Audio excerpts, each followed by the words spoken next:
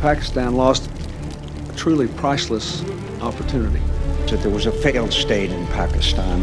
Many of the world's most vicious terrorists, including Al Qaeda's, have been living in It is Pakistan. 4.31 in the afternoon. 90,000 Pakistani soldiers become prisoners of war.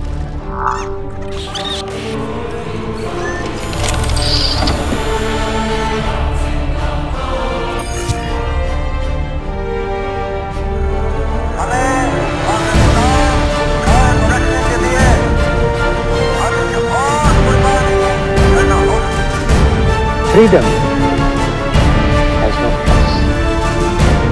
It is the precious possession of any nation.